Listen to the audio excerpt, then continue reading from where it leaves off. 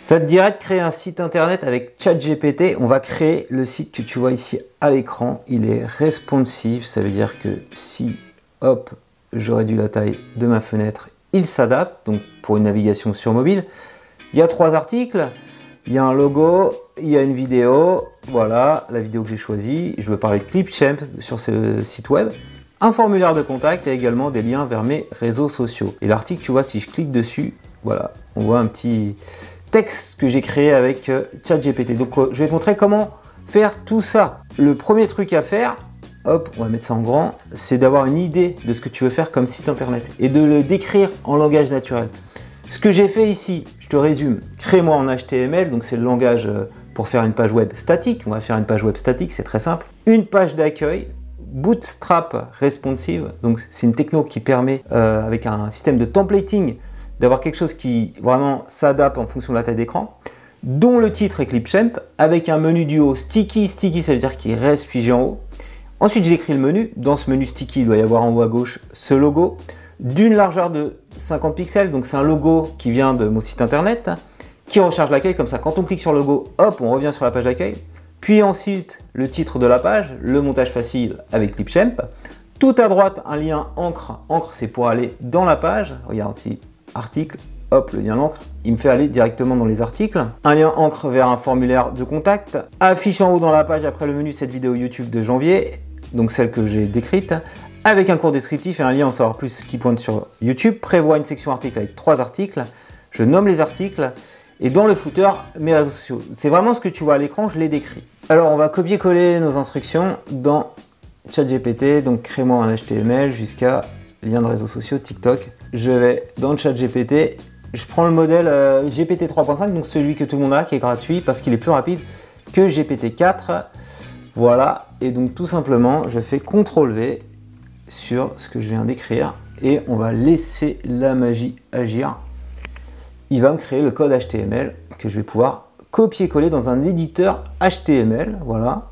Donc il me crée mon menu, il me crée mon contenu principal, voilà. Avec ma vidéo YouTube. Donc à chaque fois, c'est un tout petit peu aléatoire. Il se peut qu'il y ait des choses qui marchent, des choses qui marchent pas bien. Et quand ça s'arrête comme ça, on lui dit continue. Voilà. Donc là, il continue. Voilà, il a mis un formulaire. Il va mettre des liens vers les réseaux sociaux avec Fontawesom. Voilà. Il rajoute des scripts à la fin. Voilà, il explique tout ce qu'il a fait. On va partir voilà, de cette structure très simple et on va copier-coller ça dans un éditeur HTML. Donc moi j'utilise Sublime Text. Donc Sublime Text il est là, je fais New File et je fais, on fait comme ça, CTRL V, tout ce qu'on a, tout ce qu'on a récupéré. Donc là il a continué là, on fait copier code. Parfois tu verras, euh, c'est pas structuré comme ça dans les codes et donc il faut le faire à la main. Il faut juste s'assurer que rien n'est cassé et donc on va aller jusqu'à la balise HTML fermante. Ok, donc on va enregistrer ça. J'ai fait plein d'essais avant sur un fichier index 4 pour nos tests. Ok. Et ensuite, quand c'est bon, on fait ouvrir in browser, open in browser. Et voilà à quoi notre site ressemble. Donc on voit que c'est sticky. Par contre, les, les, articles, pour être mieux que ça, on a bien un formulaire de contact, on a bien nos logos vers les réseaux sociaux. Euh, là, en fait, on peut l'aider pour qu'il améliore les choses. Et ce que je voudrais, moi, c'est que le titre du site soit plus grand, que ça soit pas mangé et que ça soit en police blanche quand même. Donc, on va faire tout ce qui va, tout ce qui va bien.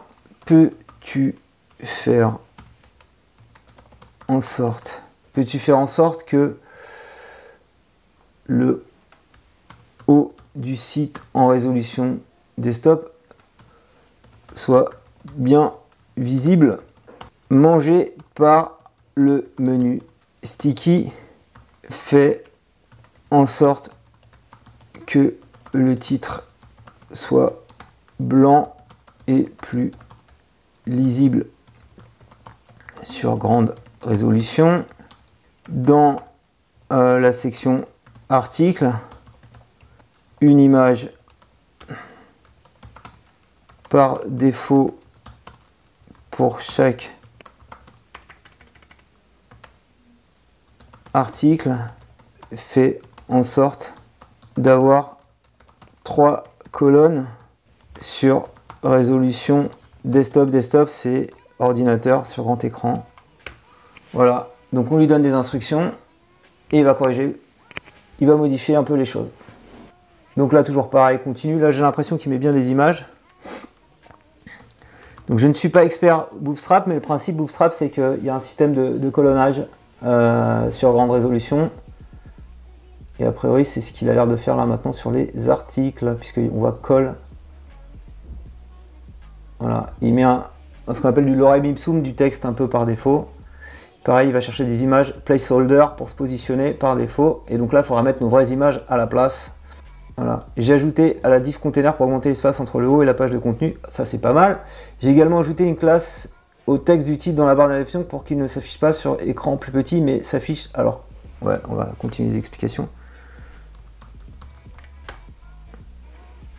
Grand écran. J'ai également modifié la classe Navarre pour inclure une hauteur minimale sur les écrans plus grands afin que le menu ne couvre pas trop de contenu. Pour les articles, j'ai ajouté une image par défaut à chaque carte d'article en utilisant la classe machin. J'ai également modifié la classe call parent pour inclure la classe machin qui crée trois colonnes sur l'écran de bureau. J'espère que ces modifications répondent à vos exigences. Donc voilà, on a vraiment un assistant, on l'a guidé et il nous a fait un truc a priori qui semble être pas mal. Donc on recopie ce qu'il nous a fait. Voilà. Donc c'est vraiment ça, hein, euh, ChatGPT c'est itérer avec lui jusqu'à ce que tu sois content du résultat. Et tu peux même lui copier-coller des erreurs. Euh, si par exemple tu fais du débugage sur Python jusqu'à HTML, comme tout à l'heure, on fait CTRL S et on, ouvre dans le navigateur. Et on espère qu'il n'y a pas trop de problèmes.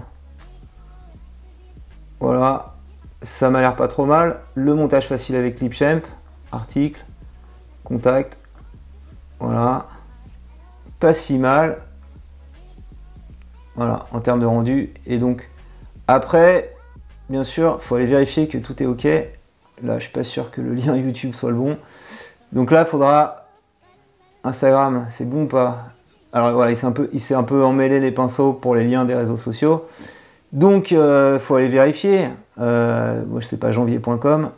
Euh, c'est janvier. Donc, en bas, notamment, c'est janvier.fr, je crois, sur TikTok. Donc on l'aide un peu. C'est janvier sur Instagram. Et sur YouTube, c'est pas janvier.com, c'est janvier. Si je clique là, c'est bon. Oui, cette fois-ci, ça marche. Et ce qui est. Ouais, ce qui aurait été bien, c'était que tout le blog soit cliquable.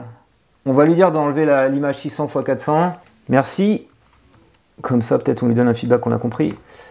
Enlève l'image 600 fois 400 et fait en sorte que le bloc soit cliquable. On fait ça. Voilà, et donc il adapte, comme tel un assistant, nos exigences. Voilà, ça m'a l'air quand même un peu plus sympa. Nos derniers articles, nous contacter, envoyer, etc. Voilà, ça commence à avoir la tête, euh, pas trop mal. Et donc ce qu'on peut faire aussi, c'est euh, gérer un article. Et alors, pour générer un article, en fait, voilà, Clipchamp voix off. Je lui avais dit de m'écrire un, article Clipchamp voix off. Donc, ce qu'on va prendre, c'est qu'on va juste prendre l'article qui est là, avec un titre, une introduction, ici. Je retourne pour qu'il ait le contexte dans mon onglet ici. le formulaire, on ne pourra pas l'utiliser hein, parce que c'est une page statique, mais c'est juste pour te montrer. Et donc, ce que je peux lui dire, peux-tu me faire également avec le même euh, menu article suivante à la ligne. Je fais CTRL V. Donc là, je vais donner une grosse quantité de texte. Et là, maintenant, on crée une nouvelle page en reprenant la structure euh, existante. Et là, il a adapté créer une vidéo voix de qualité avec Clipchamp au niveau du title. Là, on a bien index pour revenir au menu. Alors, il a même créé des titres euh, dont je n'ai pas pensé. On prend tout ce qu'on a besoin, copier code. Je vais refaire un nouveau document dans Sublime Text, copier-coller. Je continue, on s'est arrêté à H2, on copie-colle. Et là, je vais l'enregistrer, file save as 1 bis, juste pour pas m'embrouiller. J'enregistre. On va vérifier maintenant qu'il y a le même template en ouvrant dans une nouvelle page. Voilà, il a même fait un petit truc euh, article récent. On a la structure complète d'un site internet. Voilà, je peux revenir sur l'accueil.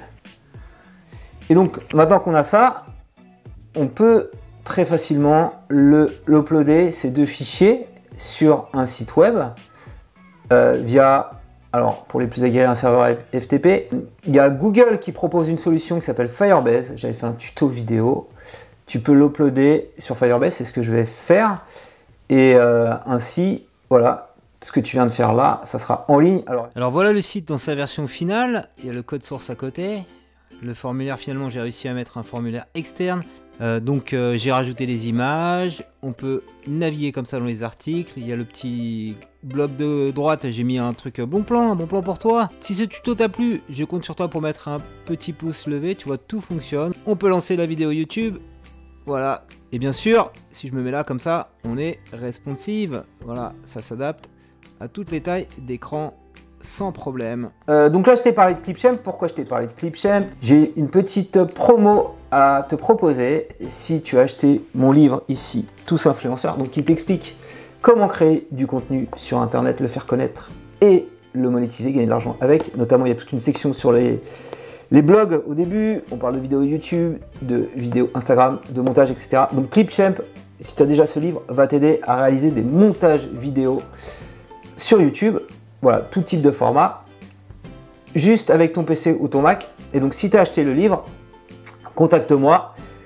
Janvier plus influenceur.gmail.com, dis-le moi. Je t'enverrai gracieusement un code promo pour bénéficier de la formation Clipchamp qui est normalement à 19 euros. Le livre vaut également 19 euros.